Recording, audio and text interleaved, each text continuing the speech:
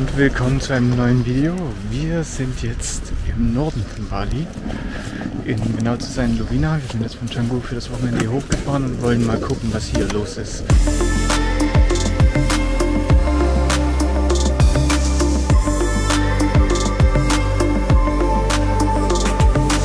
Und checkt in in Lovina, unserem Beach Bungalow hier, mit eigenem Pool. Mit Meerblick. Mit Meerblick. Ja, aber du ziehst gerade zu. Ich sehe gerade zu, weil wir gleich wieder Aber- fahren wollen. Schaut mal raus hier. Echt cool aus. Leider gerade Ebbe. Und wir wollen jetzt erstmal in die Stadt von Lovina rein. Der Mirko braucht einen Kaffee.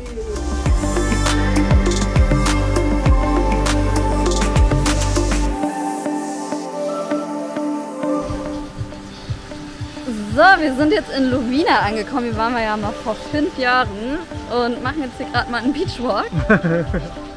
Genau. Eigentlich noch nicht viel los. Aber wir wurden schon dreimal angequatscht.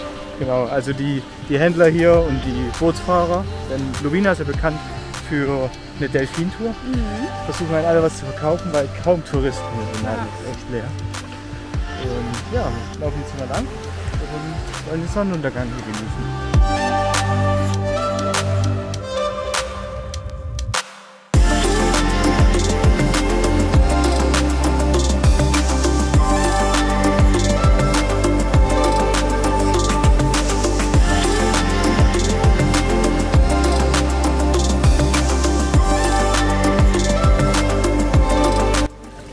Wir haben es jetzt zum Essen geschafft. Ja, Essen auch schon bekommen. Genau. Ich habe äh, Thunfisch im Bananenblatt, das ist 3 Euro. Ich habe ein Tofu-Saté. Haben die extra für mich gemacht. Eigentlich gibt es den Chicken, aber ich sag mal nach Tofu und die machen es eigentlich ganz gut. Und mittlerweile sind wir auch nicht die einzigen hier im Restaurant, also lassen wir uns jetzt schmecken. So, wir haben jetzt gegessen. Es war eigentlich ganz gut. Es war okay. Also Ja. kriegt keine 5 Sterne von uns. Es hat vier bekommen. Wir werden auch noch eine Google-Review schreiben. Und jetzt werden wir wieder zurückfahren in unsere Unterkunft, schlafen. Denn morgen wollen wir ganz früh raus. Und da sind wir zurück. Hatten eine gute Nacht, oder? Ja, sind noch ein bisschen müde. Waren nämlich ziemlich lange wach. Wollten eigentlich noch ein paar Stories und so weiter hochladen, aber das Internet war so schlecht.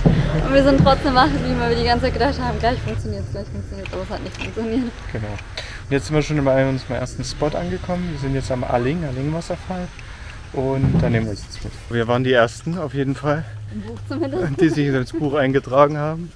Also hoffen wir, dass noch nichts los ist. Übrigens gibt es ja auch verschiedene Touren noch, die man machen kann. Wenn man nicht nur den Aling Aling Wasserfall sehen will, die gehen zwei oder vier Stunden, kosten dann auch eine Ecke mehr. Und ja, läuft hier durch so eine Tempelanlage, denn der Aling Aling ist ein heiliger Ort und man darf da auch nicht ins Wasser, wurde uns gesagt. Aber wir schauen jetzt mal, wie es dort aussieht. So, halber Weg geschafft. Wir waren jetzt gerade an einem Abzweig. Dort kann man drei Wasserfälle sich angucken, aber da muss man das Ticket für 125.000 Rupiah nehmen. Das sind ungefähr, was sind das, 9 Euro. Und dann kann man in die alle reinspringen. Also früh am Morgen ist noch kein Mensch da, aber es ist wirklich gut vorbereitet, dass hier viele Leute herkommen können. Also kommt früh, wenn ihr das machen wollt. Wir gehen jetzt mal weiter zum Aling Aling. Guck mal an, wie blau das Wasser ist, ey, voll übel.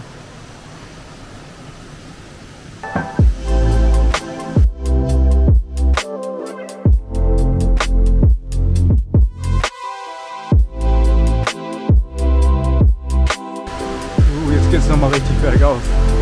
Letzten Meter.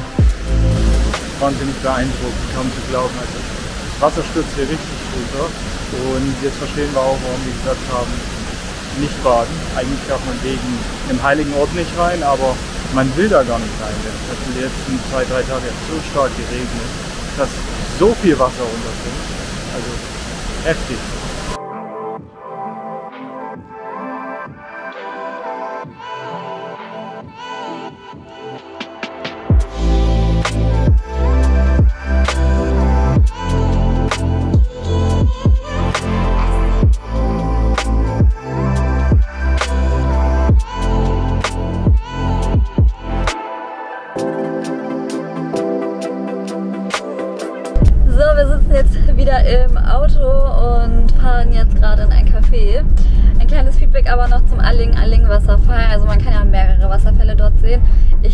Wenn ihr Zeit habt und auch Lust habt, da mal irgendwie ins Wasser zu springen, würden wir euch auf jeden Fall empfehlen, ähm, das auch zu machen. Das kostet echt nicht viel Geld, deswegen ähm, ist es eigentlich, denke ich, schon eine coole Aktivität.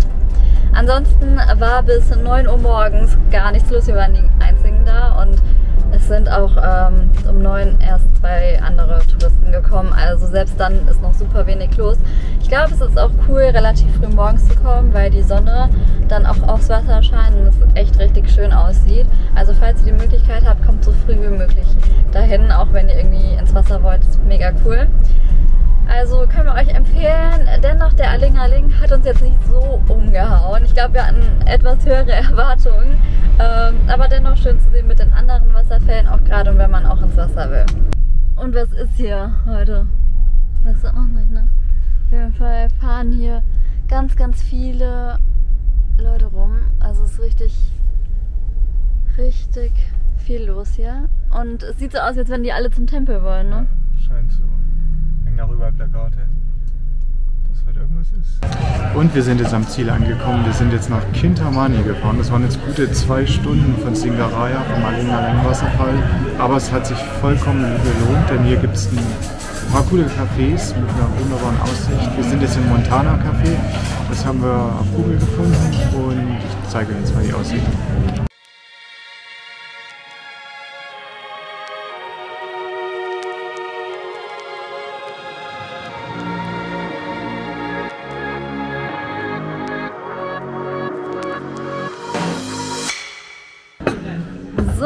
Unser Essen kommt hier gerade. Das ist mein. Jo! Und das ist Mirkus Kaffee. Hat auch irgendwas ganz Ja. komisches Weißes daneben liegen. Wisst ihr, was es ist? Kostet einfach mal. Oh, das sieht nicht so lecker aus. Keine Ahnung. Was ist Ich es? weiß nicht. Ist einfach süß. Und schmeckt wie Mehl. Na, Komisch. Also nicht gut. Erst mein Kaffee hinterher. Kaffee. Ja, ich habe mir einen Burger bestellt. Mirko hat sich jetzt erstmal ein Becher Müsli bestellt, damit er sich danach noch Nudeln bestellen kann. Und das ist aber noch nicht da, also warten wir noch. So, fünf Minuten später kam auch meins. Das können wir auch. unglaublich. Wir können euch den Laden nicht empfehlen. Mein Essen ist gleich schon kalt und Mirko hat sein Essen noch bekommen. Ja. So, wir sind jetzt auf unserem Weg wieder zum Beach. Und das Wetter sieht gerade nicht mehr so gut aus. ja, eigentlich wollten wir hier durchs Lavafeld fahren. Bei Mount Batur. Und die Drohne fliegen lassen, aber es regnet irgendwie ein bisschen. Da hinten ist der Vulkan. Richtig cool. Fährt hier direkt an Lava vorbei. Und man kann hier auch mit der Enduro durchtracken. Also, das ist eine Empfehlung, wenn man nach Bali kommt. Ein bisschen Action, bestimmt cool. Google, wo bringst du uns nur hin? Ey, das ist unglaublich. Wir fahren jetzt hier wirklich mitten durch den Wald gefühlt. Einspurig, die Straße ist super schlecht, wie man sehen kann. Also es geht noch. Und wir haben einen Puls von. Gerade geht's wieder. Es ist immer so hoch und runter, so richtig ähm, mit dem Puls. Dann plötzlich ist die Straße komplett noch weg, hat sich aufgelöst. Dann ist es besser, eben mal noch eine Mittellinie zu sehen, aber jetzt geht's einfach nur einspurig weiter. Wir hoffen, dass wir da sicher runterkommen jetzt. Ja, und hoffen, dass es jetzt nicht noch enger wird oder es aufhört oder uns jemand entgegenkommt, weil hier kommen wir wahrscheinlich nicht mehr hoch. Oder? Wir leben! Uh, wir haben es geschafft. Aber mit Verlusten. Wir haben, glaube ich, den Spiegel geschrottet. Ja gut, er ist noch, sieht noch ganz aus und er war schon beschädigt, als wir den Wagen übernommen haben. Also wahrscheinlich Nur da- geschrammt. Wir gucken gleich da mal. gut rum. Und wir empfehlen euch die Route auf keinen Fall. Wir blenden die euch hier mal ein. Ähm, Ja, dass ihr die nicht fahrt, wenn ihr von Kintamani nach unten zum Strand wieder fahrt, an die Nordküste von Bali. Wir haben es geschafft, wir sind an unserem letzten Ort für heute angekommen. Das ist der Black Sand Beach bei Gretek. Und hier kann man die Drohne hochlassen. Und wenn man Glück hat und rausfliegt, sieht man schwarzen Sand, die Palmen und den Vulkan Agung. Drückt uns die Daumen, dass es klappt.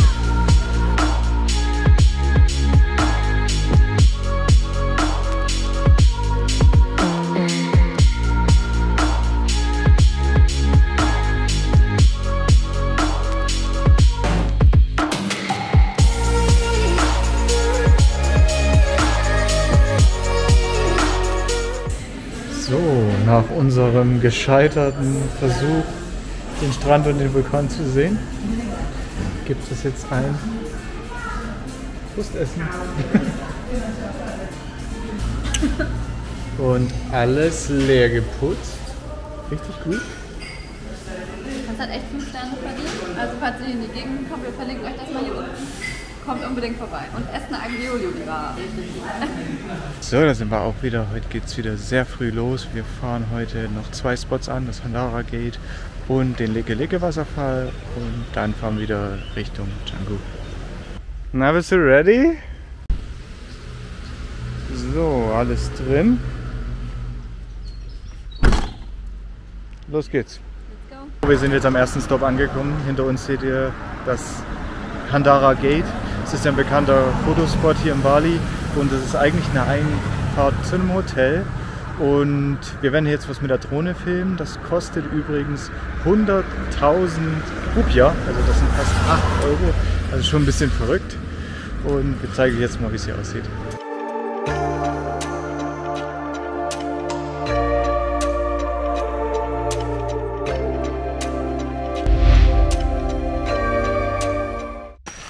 Und jetzt sind wir am nächsten Ziel angekommen. Wir sind jetzt am Leke Leke Wasserfall. Das einer, den wir schon unbedingt mal sehen wollten.